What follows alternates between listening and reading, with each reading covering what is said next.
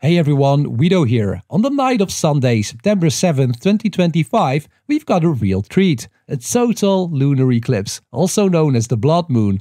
This will be the longest total lunar eclipse since 2022, with about 1 hour and 22 minutes of totality.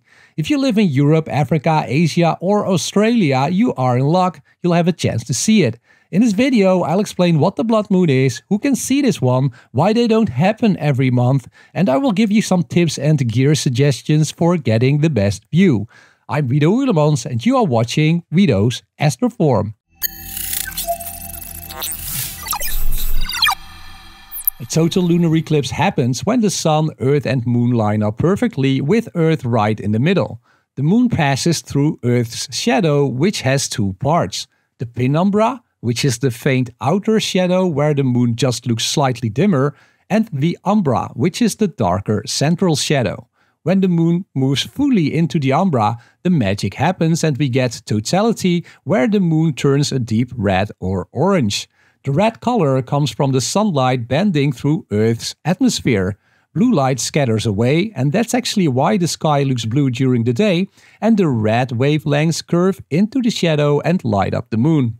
Now, this eclipse will look different depending on where you are. In many parts of Western Europe and West Africa, the moon will actually rise already in eclipse, which means you'll get that eerie red moon low on the horizon.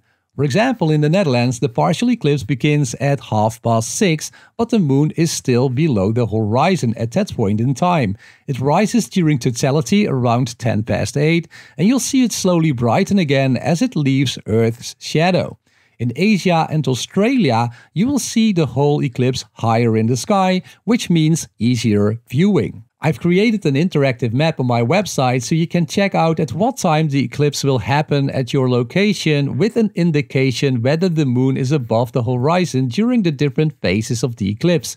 You'll find a link in the video description below. So you might be wondering if the moon orbits the earth once a month, shouldn't we get an eclipse at every full moon? The answer to that is no, because the moon's orbit is tilted about 5 degrees as compared to Earth's orbit around the sun. So for most months, the moon passes slightly above or below Earth's shadow. A lunar eclipse only happens when the full moon is near one of two special points in its orbit called nodes, where the moon's path crosses the Earth's orbital plane. This only happens during eclipse seasons, which occur roughly once every six months. That's why total lunar eclipses are relatively rare.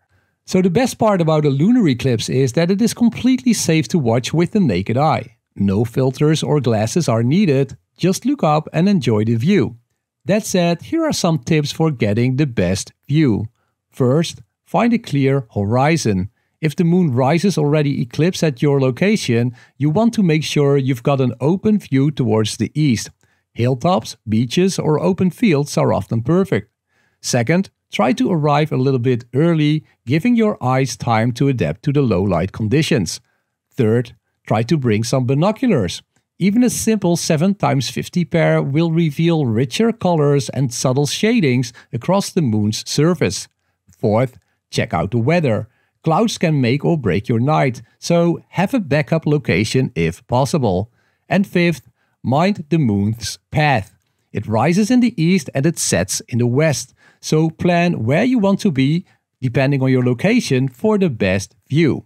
You don't need any special equipment to enjoy the moon, but if you want to enhance your view, here are some great options. For binoculars, I would recommend something like the Celestron SkyMaster Pro ED 7x50, which brings you bright and crisp views of the moon and is very easy to handhold. Also, the Hawke Endurance ED Marine 7x50 is rugged and waterproof for tough conditions. If you're looking to telescopes, I always use my Celestron Edge HD 8-inch telescope for razor-sharp details and close-up views of the moon and for lunar photography. If you're looking for something cheaper, I would recommend the Skywatcher 8-inch Dobsonian telescopes, which have a big aperture for rich detail at great value. If you want to photograph the blood moon, you've got several options. If you think about using your smartphone, I'd recommend you also use a tripod for stability. You want to enable night mode or pro mode if you have that on your phone and you want to set your ISO to about 400 to 800 uh, with a shutter speed from about a quarter to one second during the full lunar eclipse. If you're going to use your DSLR or mirror, mirrorless camera, I would recommend also using a zoom lens from 300 to 600 millimeters focal length. And for totality, I would set my ISO to about 800, my f ratio to about f6.3, and my shutter speed from half to one second exposures for a good image. For brighter partial phases, you'll need a much shorter exposure time to avoid overexposing the bright side of the moon. If you are looking to attach your camera to a telescope, you can of course use your telescope as prime focus photography for high resolution pictures. You could also use a smart telescope like the Dwarf 3 or the Seestar S30 or S50 to capture the blood moon. More details are in the video description below. For composition ideas, you can think about creating these moonrise foregrounds, especially in Western Europe and West Africa, where the moon will be low on the horizon. You can then frame the red moon against buildings, mountains, or trees.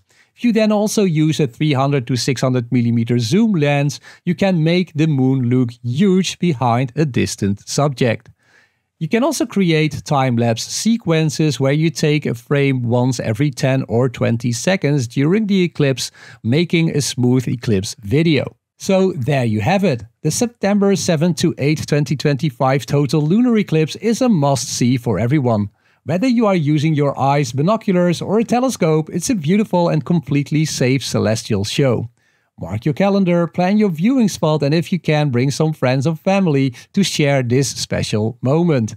I'll be out there with my own gear, and if weather is kind, I'll have some images to share with you afterward. Clear skies and happy eclipse watching.